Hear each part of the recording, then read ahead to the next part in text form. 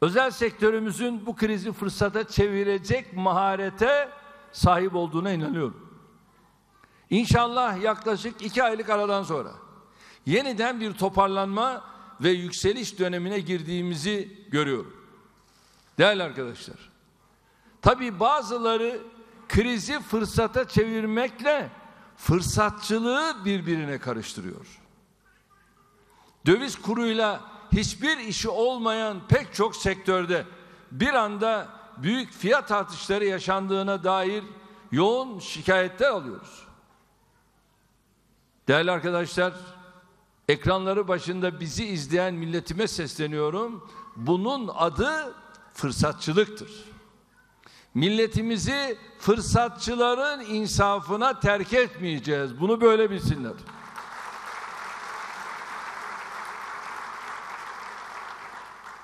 Serbest piyasa ekonomisi kuralları içinde bu fırsatçılarla mücadele edecek ve kendilerine gereken yaptırımları da uygulayacağız.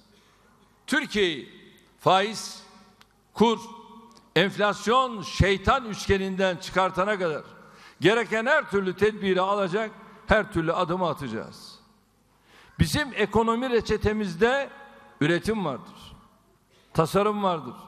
Teknolojiyi geliştirmek vardır. İhracat vardır. İstihdam vardır. Refahın tabana yayılması vardır. Hiçbir mağduru ve mazlumu sahipsiz bırakmamak vardır. AK Parti bugünlere işte bu anlayışla yaptığı hizmetlerle gelmiştir. Bundan sonra da aynı şekilde yoluna devam edecektir.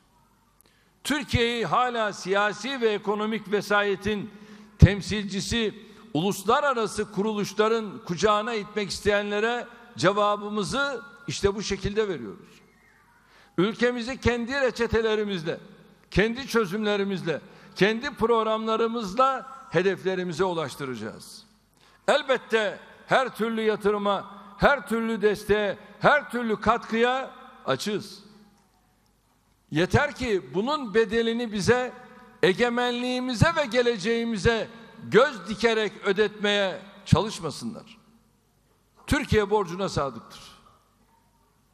Yeter ki işi diyet borcuna dönüştürmesinler. İşte o zaman külahları değiştiririz.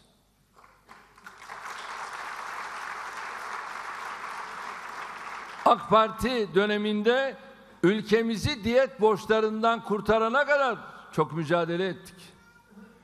Çok fedakarlıkta bulunduk. Yeniden Türkiye'nin aynı cendereye sokulmasına izin vermeyiz. Son günlerde finansal danışmanlık hizmeti alınan bir şirket üzerinden yapılan tartışmalar güya bizi töhmet altında bırakarak aslında örtülü bir şekilde ülkemizi yeniden aynı cendereye sokma girişiminden ibarettir. Ama biz bu oyuna gelmeyiz. Bu can bu tende oldukça hiç kimse Türkiye'yi yeniden uluslararası kuruluşların boyunduruğu altına sokamaz. Bu zat ekonomi yönetimimize hizmet vermek üzere ücreti mukabili tutulmuş bir danışmanlık firması üzerinden sorduğu sorularla bizi güya köşeye sıkıştırmaya çalışıyor. Bundan böyle tabii ona bu fırsatı da vermemek için tabii özel sektör bizi ilgilendirmiyor o ayrı bir konu. Geçen bütün bakan arkadaşlarıma söyledim. Yani bunlardan fikri danışmanlık hizmeti de almayacaksınız dedim. Hiç gerek yok. Biz bize yeteriz. Biz bize yeteriz. Eskiden beri soru soran ama cevabını hiç dinlemeyen bu zata değil ama ola ki onun hezeyanlarıyla kafası karışmış olanlar varsa onlara şu gerçekleri ifade etmek isterim. Türkiye evet bir dönem sadece ekonomisini değil savunmadan tarıma, sanayiden ticarete her şeyini Amerika'ya teslim etmiştir. Peki bu ne zaman olmuştur biliyor musunuz? Türkiye bu felaketi tek parti Cumhuriyet Halk Partisi ve onun milli şefi İnönü döneminde yaşamıştır. Elimde gazete küpürleri falan var.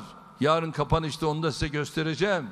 Nasıl böyle gururla hangi bayrağı dalgalandırdığını sizlere göstereceğim. Yarın kapanışta. Her şeyi bugün kapatmayalım. Osmanlı'nın son dönemlerinde ve Cumhuriyetimizin Gazi Mustafa Kemal'in idaresindeki ilk yıllarında çok isabetli bir tercihle Türkiye kendi sanayini ve elbette savunma altyapısını oluşturma konusunda önemli adımlar atmıştır.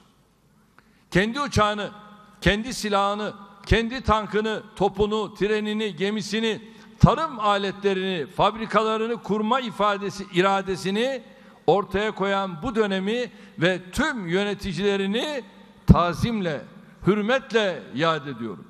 Sonra tek parti CHP'si tutmuş bu fabrikaların hepsinin kapısına kilit vurmuş, savunma sanayi teşebbüslerini adeta birer birer boğmuştur. Nuri Demirağ'ın uçak ve tren fabrikası, Nuri Killigil'in silah fabrikası gibi daha ince teşebbüslerin önü tek parti Cumhuriyet Halk Partisi tarafından kesilmiştir. Bay Kemal. Biraz şöyle hiç olmazsa tarihi oku. Oradan bir şeyler edin. Kim bu ülkede ne kazandırdı, ne verdi? Ülkemizi yardım programları aracılığıyla Amerika'ya mahkum hale getiren bu zihniyetin yol açtığı yıkımın etkileri bizim dönemimize kadar maalesef sürmüştür.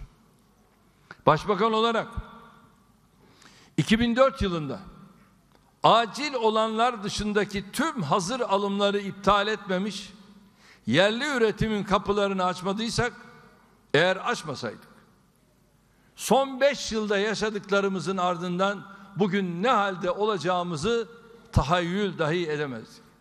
Aynı şekilde, işte IMF'i söyledim. Bugün tıpkı 1994 ve 2001 gibi bir büyük ekonomik enkazın karşısında duruyor olacaktık o mantıkla hareket etseydik. Son yaşanan hadiseler Türkiye'yi belki bir parça sarsmıştır ama asla yıkamamıştır. Çünkü bugünkü Türkiye ne 1994'ün Türkiye'sidir ne 2001'in Türkiye'sidir.